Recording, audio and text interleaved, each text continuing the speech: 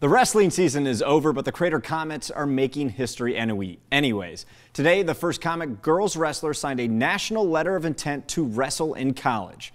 And Bailey Holt isn't going to a slouch program either. She's joining the Southern Oregon women's wrestling team.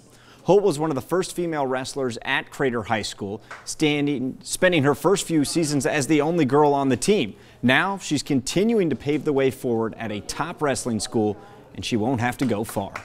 Yeah, it's super nice that I get to stay home and have my family to support me. And I'm very excited for this season because I get the opportunity to travel and um, learn new skills and get to wrestle at a higher division. Holt will be joining one of the best NAIA women's programs in the country. The Raiders squad finished second at the National Invitational Tournament back in March.